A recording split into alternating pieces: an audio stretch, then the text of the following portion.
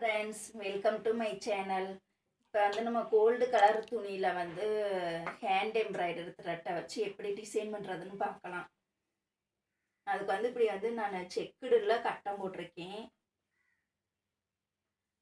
Gap வந்து ஒவ்வொரு inch வர்ற மாதிரி கோடு போட்டுக்கோங்க நீங்கள் இந்த அதுக்கு பாபின் தேவை. நம்ம என்ன கலர் த்ரெட் எடுக்கிறோமோ அதுக்கு மேட்சாகவே மிஷின் த்ரெட் எடுத்துக்கணும். டிசைன் பண்ணுறதுக்கு பீட்ஸ் வச்சுருக்கேன். இதை வந்து அப்படியே நம்ம கேஸில் வந்து அப்படியே சுற்றிடணும்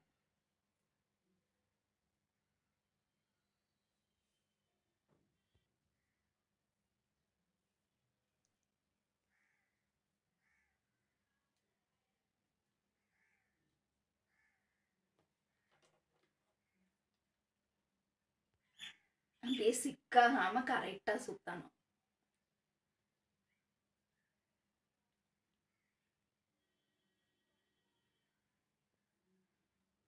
இந்த த்ரெட்டை வந்து நம்ம மிஷினில் சுற்ற முடியாது. அதனால தான் நான் கையிலே சுற்றுறேன்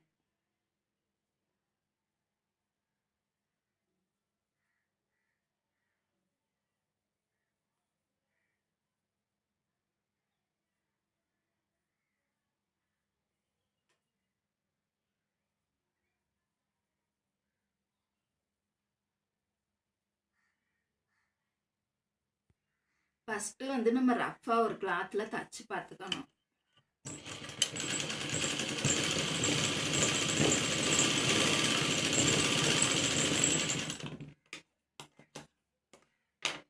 இந்த இந்த மாதிரி உங்களுக்கு முடிச்சு முடிச்சா வரும். அதனாலதே ஒரு துணியில் வந்து நம்ம ரஃப்பாக தச்சு பார்த்துக்கணும். இது வந்து நம்ம தைக்கும் போது வந்து கெட்ட பக்கம் வச்சுதான் தைக்கணும். அடியிலதே உங்களுக்கு வந்து ஹேண்ட் எம்ப்ராய்டரி தெரியணும். அதனால கெட்ட பக்கம் வச்சு தைக்கிறேன்.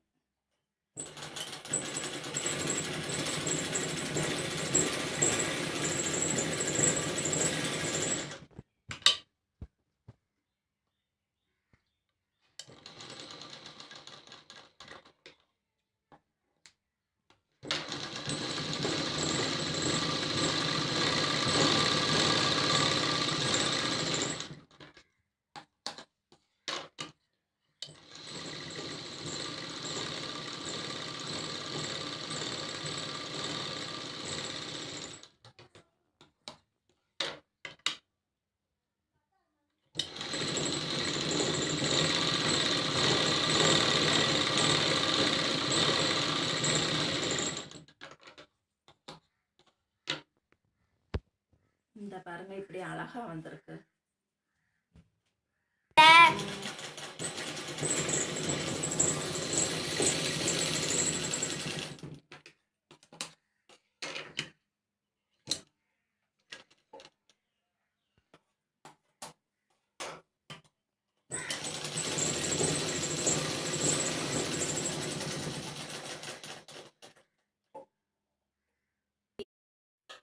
இப்போ நம்ம வந்து இந்த சைடு ஃபுல்லாக தச்சு முடிச்சாச்சு. இப்போ பாருங்க.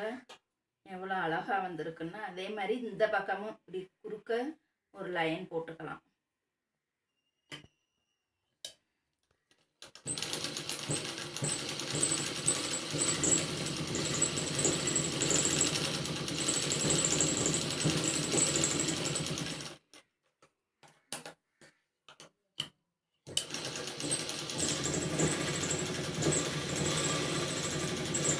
இதில் வேணும்னா நீங்கள் டபுள் லைனாக கூட ஸ்டிச் பண்ணிங்கன்னா இன்னும் அழகாக இருக்கும். நான் இப்போதைக்கு ஒவ்வொரு லைன் மட்டும் போடுறேன்.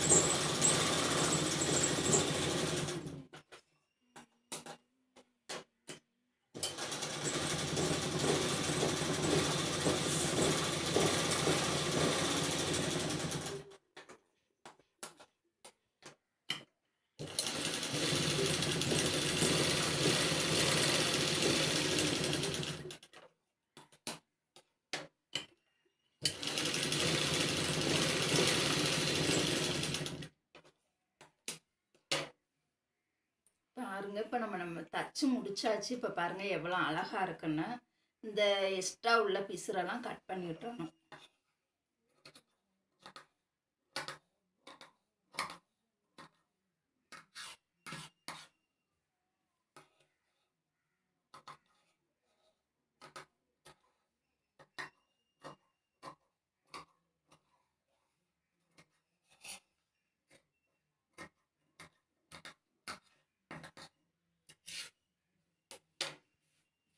பாருங்க எவ்வளோ அழகா இருக்குன்னு. இப்போ வந்து நான் அங்கனங்கன இந்த ஜாயிண்ட் வர்ற இடத்துல பீட்ஸை வச்சு தைக்க போகிறேன்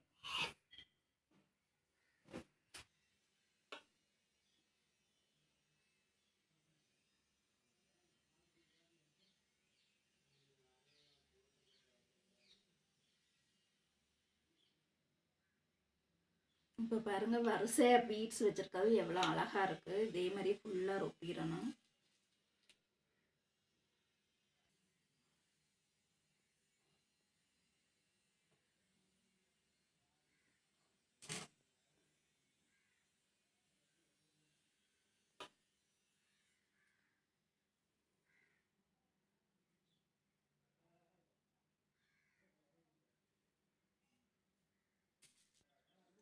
இப்போ பாருங்க நான் பீட்ஸ் எல்லாம் வச்சு முடிச்சுட்டேன் எவ்வளோ அழகாக இருக்குது பாருங்கள் இதே மாதிரி நீங்கள் வேறு வேறு டிசைனில் போடலாம். இந்த எம்ப்ராய்டரி த்ரெட்டை வச்சு நெக்குக்கு போடலாம். பட்டுப்பாட சட்டை ப்ளவுஸுக்கு போடலாம். வேறு த்ரீ ஃபோண்டு ஹேண்டுக்கு இதே மாதிரி தச்சுக்கலாம். ஆனால் டிசைன் மட்டும் நீங்கள் எப்படி என்னாலும் நம்ம டேலண்ட்டை பொறுத்து வச்சுக்கலாம். பாருங்கள் எவ்வளோ ஃபீ